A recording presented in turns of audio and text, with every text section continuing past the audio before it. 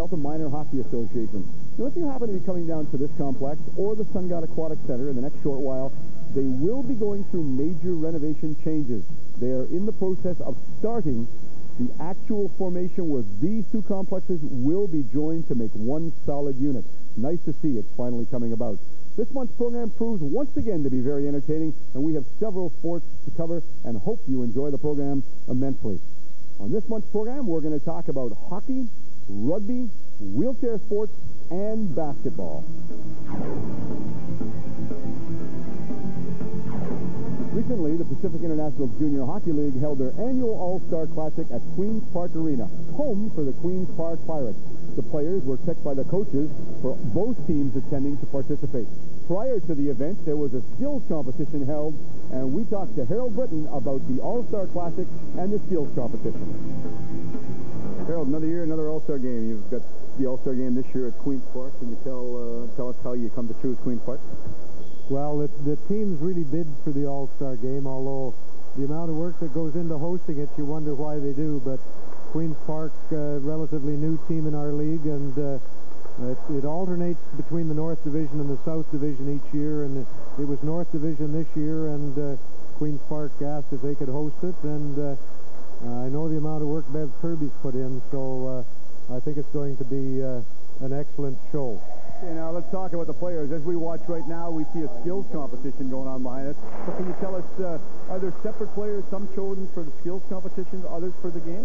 Now, yes, there is this year. The first time we've done that, uh, some of the skills competitors are uh, all-star game selected also, but some of them are just here because of their skills in, in an area.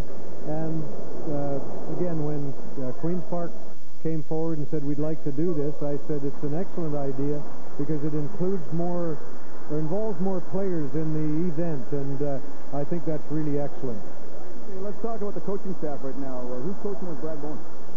Uh, Brad Bowen and uh, Gary Duville from Abbotsford is the assistant coach. Uh, Rod McLeod from uh, Delta is the trainer on the South team. And uh, for the other team, I believe you've got Peter Crowther? Peter Crowther is the head coach. Uh, Ron Johnson from Queen's Park is the assistant. And our trainers are uh, from Ridge Meadows and uh, Don Grant from Queen's Park. Okay, now, uh, how do the players get chosen to compete uh, and be a player for the, we'll say, for the game? Do the, the, does their own coach select them to be on the All-Star team for a player, or do they basically, as well as, I guess, do they accept only their own players, but do they put other players involved from other teams? No, we, the, uh, each team nominates a set number of players uh, to be considered for the All-Star, and then the coaches select the All-Star players from that group. Now, in each group, there's perhaps six players nominated that weren't selected, but they're filled in for anyone who's injured or sick. Uh, we then go to the uh, alternate list and uh, bring a player back onto the onto the All-Star roster. Your league is known for, uh, as a feeder league, somewhat for the BC Hockey League. You lose a lot of players to go up to the parent league. Well, that's true, and some of our coaches take great pride in in um, selecting players for their team that they can pass on and see go up the line to uh, to Junior A. So, uh, you know, it's the fact of life that a player might play in our league uh, one year and be ready for Junior A the next year, and we wish them well and send them on their way. Well, this is a big endeavor for, uh, never mind, you know, the coaches or the managers and all the players, but all the people behind the scenes that, uh, that put this on. Yes, and uh, quite frankly, it's the host team that uh, that does the work. Uh, I organized two All-Star games when I was with the Richmond Sockeyes, and I know I know how much work's involved and I had a committee of 10 or 12 people. I think they did it, I think Bev Kirby might have done this all by herself. No, she had help, but, but help, they're going to... a lot, a lot of work. There's a lot of work involved, there's no doubt about it. And I think it's, it's, I was looking at our All-Star game regulations. I think maybe we have to start looking at them to see how we can make it easier on the host team. And I, I think there's ways we can do it. Education is our theme. Hockey is our game. This combination makes this league unique, their scholarship program and emphasis on player development. joined by Delta Ice Hawks coach Brad Bowen. Brad, uh, nice to have you back coaching an All-Star game uh, for the PIJHL again. Oh, it's always fun. Uh, I get to meet some of the other guys in the other team and uh, talk to them in a fun atmosphere. So try to put on a show. Now, from the looks of it, yeah, the, the boys are trying to put on a show. There's a lot of talent out there.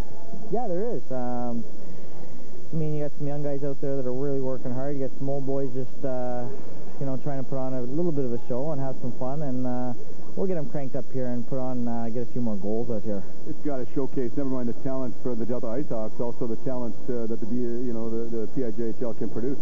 Yeah, we've got eight guys on the on the team out here, and uh, but all teams are represented really evenly, and uh, you know, it's fun to watch some of the other guys. You watch them in a tight checking game, and then all of a sudden you see them in a wide open game, and they make some nice plays, nice passes, and uh, on both squads. So it's interesting. A lot of talent uh, that's being showcased tonight. Unbelievable talent. And, uh, you know, the kids are going to start mixing up in this spirit. I think it's going to get a little bit more intensity. A lot of fun out here. And everybody's kind of feeling each other out. You get kids from different teams playing with each other. It's kind of a weird thing. And, you know, so I think they're getting into the mood. Uh, we should uh, make mention real quick that uh, a lot of kids that you had on your Bantam AAA team that won the Western Canada Championships uh, doing very well. Very well, very well. A couple of them are up there for the NHL draft this summer. Make so. mention of a couple first now. Well, Brandon Siegel is obviously up for uh, to be drafted. There's uh, Kyle Bruce, I think, is ranked uh, 103rd, 103 on his. I think there's uh, Tyson is a possible, Tyson Mulock is a possible draft pick. Guys are talking about Igor Agarunov for possibly being drafted. You know that Andy Thompson next year is really sorted to go high in the draft, so the kids are doing really well. And not to say the other kids that are on the team that are playing Tier 2 right now are doing very, very well, and Junior B. Well, it says a lot for the program that uh, that you had that year. Oh, they're talented kids. They coach coaches sometimes can stand on the bench, but proud of the boys, very proud. Now, you're back coaching the Queen's Park Pirates this year. On a side note to the All-Star game, uh, how's everything going with Queen's Park? Very well, R very, very well. There's a very young team. We've got, uh, I think at this point, we've got uh, 14, 17, 16-year-olds. And they're playing with a lot of heart and emotion, and uh, great kids. I'm very happy as a coach. You had the luxury last year, uh, luxury pro or con, whatever way you want to put it. Uh, you stepped up. You coached uh, Burnaby Bulldogs for a couple of games. Uh, in, in light of the situation that took place with Darcy Rota, how did things work there? Very well. Yeah, it was a great experience. Uh, came in and helped out the organization, and fortunately we got through the playoffs. But uh, a great experience. I loved it, and uh, I'm glad to be back here. The ownership is great, and of course with my business, it's you know keeping me busy. But uh, you're playing out of a place that's got a lot of history around it. Great history. You know we have a pretty physical young team, and they love this place. A lot does, of character. Does that go with the building? And uh, it does. You just walk in here, you can feel it. You can feel it. South Delta Men's Recreational Hockey League recently took on the Vancouver Canuck alumni before a sellout crowd at the Ladner Arena. Proceeds for this event go to the BC Hockey Benevolent Society Association as well as the South Delta Minor Hockey Association. And president for the league, Doug Davies, tells us about the undertaking it took to put this prestigious event on. Uh, it's basically a three-year project of mine that I've had in the works. Um, every year our, our league, the South Delta Recreational Hockey League, um, we try to do a charity game for Delta Assist, and by playing against the Canuck alumni, it's a bigger draw. It's um, sort of a larger format type thing, and it gives us the ability to uh, have an extra recipient and just to make it that much bigger and better. So we've brought uh, Delta Minor Hockey on board as a second recipient, and also um, by having the Canuck alumni, they have their BC Hockey Benevolent Society, and they do require a $1,000 appearance fee, and that sort of uh, makes sure that there's a commitment uh, from the people and whatnot to come here. So it's a lot of work, and all the teams within our league, we have an eight-team league. They've everybody's been on board this year. Uh, we talked about it last year, but last year was kind of full 100% commitment. We didn't really want to push through. This year we've got the commitment. We've had uh, great work from the team everybody to sell their tickets and promotions and whatnot, and I think uh, the stands show the results. How many people are, do you think are here tonight? Uh, tournament capacity here is about a thousand, so uh, we're probably just under that. Well, it's pretty close. Yeah, yeah. Each team is. This is the Delta Minor Hockey here, playing the mini game. Um, so next period we have a um, paper airplane throw. We've got various prizes, and uh, it's also um, uh, an autographed Canuck jersey. And there will be a post-game autograph session for the Canucks for the alumni team after the game as well. How, how do the uh, South Delta senior uh, men's uh, guys take this? Are they having lots of fun, these guys? Oh, I think so, for sure, yeah. Everybody, you know, it's, it's fun to be able to come out here. It's fun for both sides. It's kind of a thing where you want to play kind of half serious. You know, we're out here to, to try to skate as well. And what these guys are, you know, what they lose in a little bit of speed, still have with their shot and their smarts, of course, and their passing in the game. So we're a good game, but it's all about fun, too. As Craig Sherberty found out with scoring the first goal against Now, what happened with that tie? What happened there? well, it's a time-honored tradition that the first guy that scores the goal gets some uh, gets a photo opportunity, and then unfortunately gets a pie in the face as well at the same time. So So it looks like it's a pretty uh, profitable and fun night tonight. it should be, yeah. We're hoping to raise. Uh, well, we're, we're, we're committed to at least um, you know seven hundred fifty dollars uh, per per um, per group for minor hockey and for uh, the Delta Shift. Plus whatever we can do through um, you know we have the beer garden and 50-50 draw, so we're going to be taking uh, part proceeds from all that as well, and also contributing as well. So it's an opportunity uh, to, to give you know much needed funds. The Canucks alumni team is a model team with players such as Richard Brodeur, Garth Butcher, Chris Oddleifson, Darcy Rota, and Jiri Bubla on board. This alumni squad is very entertaining and competitive. The two coaches for the Canuck alumni, Norm Jewison and Dave Duke, tell us about this great group of players.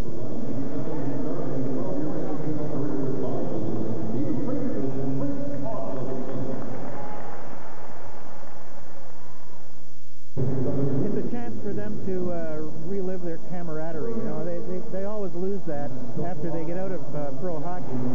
The camaraderie is such a big part of it. Uh, they practice every Wednesday night together, and uh, it's just a great get-together for these guys who have jobs in uh, all walks of life like everybody else now, you know, that who work 9 to 5 like everybody else. So. Dave, how many alumni do we have? Oh, I'd probably say today we have about 45 fellas, eh? But uh, we need that many nowadays. That, you know, there's commitments with some fellas coaching their kids. And not, then, not all of them are here. Oh, no, yeah. no, no. Uh, a lot of them have to work and have commitments elsewhere. So it's good to have an alumni that big now. How many events a year do you guys uh, play in? Oh, I imagine we somewhere around 12, 13 games a year now, all over the all over the province.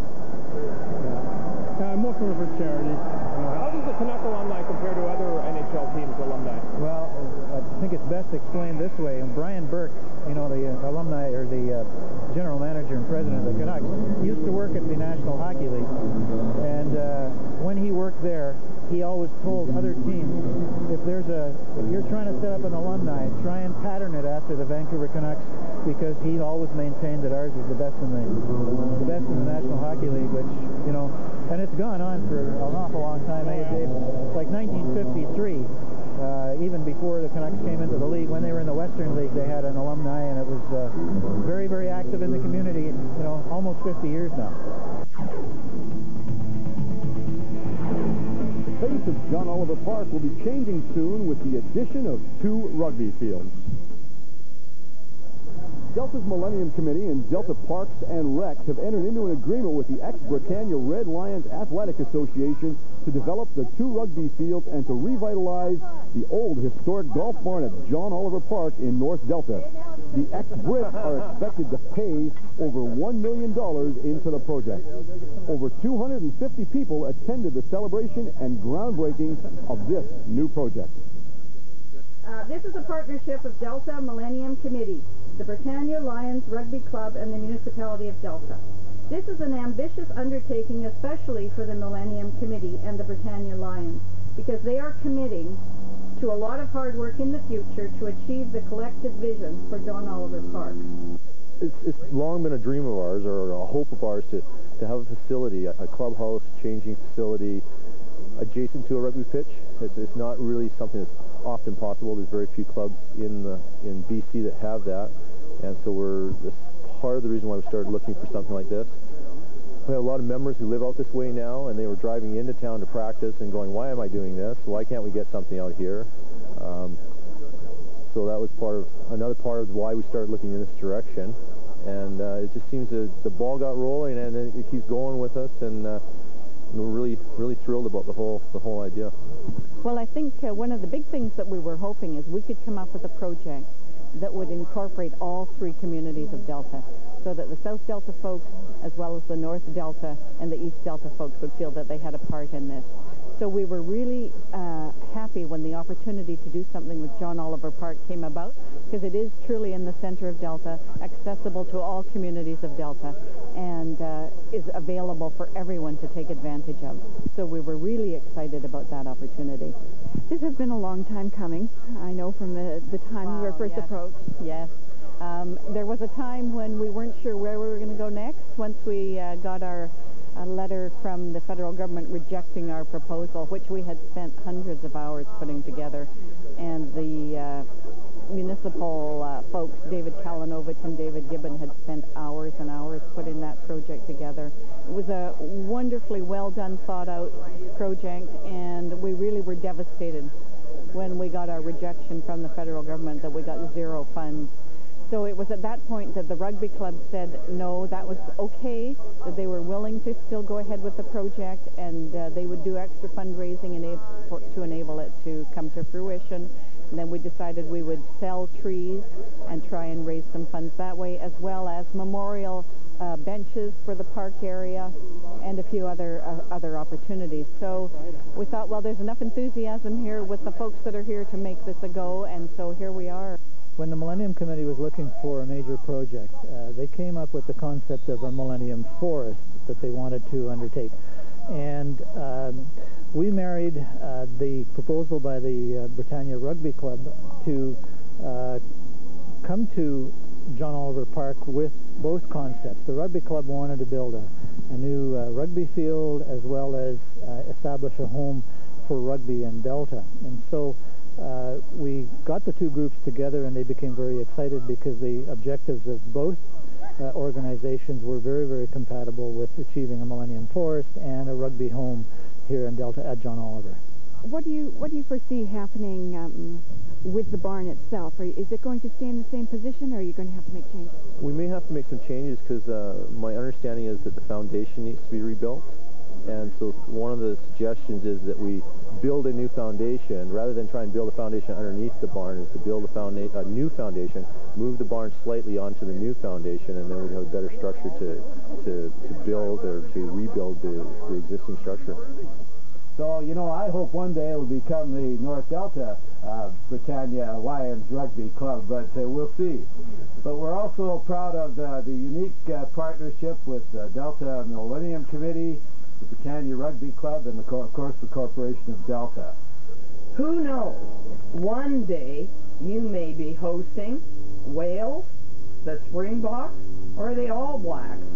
Hey, you guys, this could be the Twickenham of the Fraser Valley.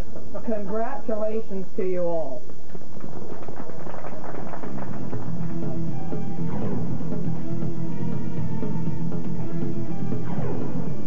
Delta Parks and Recreation, in partnership with BC Wheelchair Sports Association, held a Have a Go Day at the Delta Senior Secondary Gym. This is part of BC Wheelchair Sports Bridging the Gap program. The aim of this program is to help individuals with disabilities become reintegrated into the community and regain their motivation, inspiration, independence, and confidence through physical activity. Bridging the Gap provides the opportunity for individuals with disabilities using manual and electric wheelchairs to get physically alive. It's called Have a Go Day, and it's part of a project called Bridging the Gap run by BC Wheelchair Sports Association. What type of things are happening today? What we're doing is we're demonstrating a whole range of sports that wheelchair sports have to offer, such as wheelchair tennis, wheelchair basketball. At the moment, the guys are playing quad rugby, and we're going to be doing some floor hockey later on, and we've been talking about athletics and power soccer. They're, they're mainly local Delta people because that's why we've teamed up with Kathy and um, Delta Parks and Rec to try and get people here in the community out to have a go at different sports and see what we have to offer. One of the great things about the project is that once a month we're in GF Strong Rehab Centre and we're meeting unions of guys like Hillary was sort of um, all that time ago and these are people that right now they maybe don't know that they're going to be able to do different physical activities once they get home and we meet them when they're in the rehab centre and then once they've gone back into the community like they're here back in Ladner and it's been a you know six months to a year since they were in rehab and they maybe don't know how to get started and the great thing is, is that we're here today and those guys who are back in the community can come. And GF Strong have actually brought a group here today, and they're still in patients at the moment, but it's just bringing them into the community as a sort of taster of what's going to be there for them when they get home. Bridging the Gap provides the opportunity for individuals with to get physically active. Have a Go Days are held regularly, giving people the opportunity to come and try a variety of wheelchair sports in a fun and informal atmosphere. Wheelchair athletes demonstrate the sports and everyone gets to participate. Some of the sports include power soccer, basketball, rugby, and hockey. By participating in these activities, one can overcome their fears and gain a new self-confidence. Contact Delta Parks and Recreation for more details.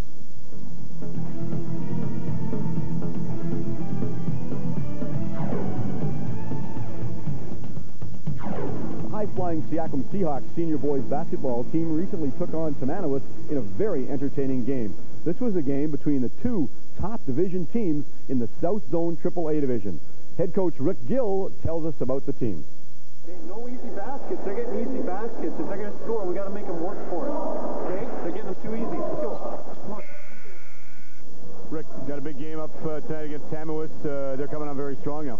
Yeah, they got a really good team. Saw them play on uh, Tuesday against Earl Marriott, and they did a really good job, and they actually beat them by three, so they got a good team. Okay, now going into tonight's game, we got a healthy team? no, I wish we had a healthy team. We got a few guys sick and some injuries, so it's going to be tough. Is there a lot of rivalry between the schools, between yourself and Tamanawis and some of the other schools you play against? Um, Tamanawis, not really yet. Uh, Delta schools? Yeah, North Delta, South Delta, there's a rivalry. Big time against North Delta, obviously. You know, uh, last time we were here, you had a strong game, uh, which was always entertaining to do, but uh, several of the players that uh, we like to watch for on the team, uh, Oramako is the one that uh, comes to mind, just plays exceptional all the time. Yeah, he's a really good player. Our best player, obviously. Our go-to guy, and but we, have, we got other guys that we rely on. We have to have five guys on our team contributing for us to win. So it's not just one guy that's going to win or lose the game for us.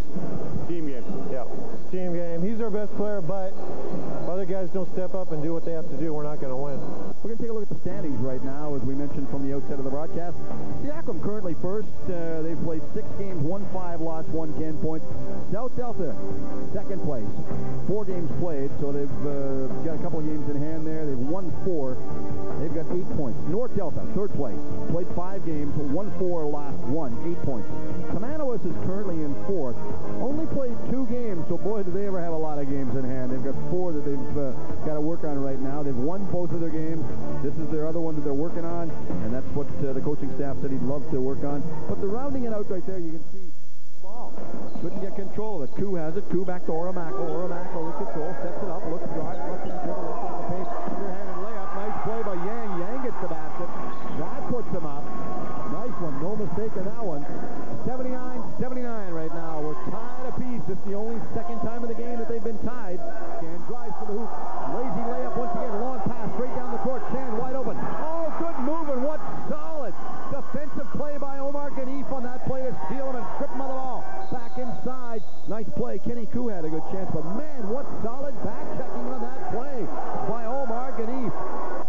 Going to get Seaquam to inbound the ball. 79-79. We've got 47 seconds left. It's do or die. Far side. Pass it back. Don't forget, in first place right now. Orlando drives. Gets the hoop and gets her down. Oh, baby. He's come to play. I said that earlier on. If he's going to pick it up a notch or two, he's got to do it now. He did just that. Put an overdrive, and he did exactly that. Timeout called. Tamanawis. Seaquam comes to life. 81-79 with 42 seconds left in the game. We're going to sneak over and go on one of the benches right now. Not sure which one we're going to go on. We got the lead. Go to the bench. Seaquam. If they score, we're calling the timeout. Okay, if they score to tie it.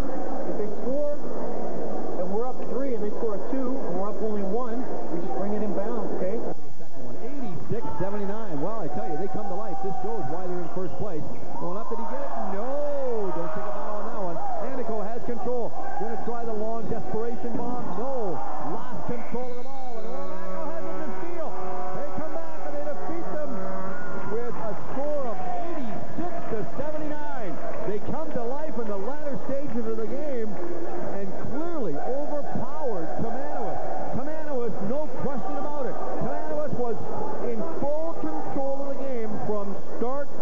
finish. They come back, and they scored 25 points in the fourth quarter to defeat Tamanawis, and Tamanawis only scored 19 in the fourth quarter. Tamanawis' letdown was in the third quarter when they only took seven points. Going after a well-deserved rest, Coach Rick Gill. Uh, Rick, is it fair to say, fair assessment, say you guys get lucky at the end? Um, I don't know if it was lucky, but we got some breaks, and um, it's, you can call it luck or taking advantage of your breaks, whatever you want to call it. I call it taking advantage of our breaks. So uh, you played strong. You played uh, strong. You had a chance uh, a few times to give the ball away. Uh, uh, he seemed like tonight he was uh, laboring somewhat when he was making the bad the passes. I won't say bad passes. They were, they were sort of like lax passes behind the play. Yeah, he was, he was doing that a little bit, but he's, he's suffering from a cold, so he's not 100%, as you can probably tell out there. He wasn't playing his to his full potential. He still played a really good game. Played a good game. It's uh, it's not what we're used to seeing the uh, you know uh, the aforementioned John Oromako the way he normally steps it up a notch or two. But uh, even uh, the rest of the players, they all played very well. You played strong defensively. Having having a hard time getting rebounds. Yeah, we are especially in the first half. We weren't blocking out. But in the second half, we picked up our defense, and we started helping out on defense, and then we got good position so we could get the rebounds. And I think they got a little bit frustrated, and they stopped going to the boards like they were in the first half, so that helped us out. The turning point uh, had to be the third quarter. You got 18 points. They only got seven. You seemed to just shut down their offense. Yeah, that was the key. That's what I was telling the guys the whole game was defense, defense, defense. And second half, we played some defense. I think they scored 26 points in the second half. They had 53 in the first half, so that's a big difference. For this month's program from, once again, the Sungod Arena, home for the North Delta Minor Hockey Association. In the Did You Know category, did you know that the new Speaker for the House of Commons in Ottawa is Bob Kilger? Bob Kilger is a past referee in the National Hockey League, has a son playing for the Montreal Canadiens, Chad Kilger. Vancouver Giants in the Western Hockey League start official play this coming September. They are looking for billets in the Ladner or Tsawwassen area. Anyone that can assist them in this area, please call 878-8597 and leave a message, and they will return your phone call.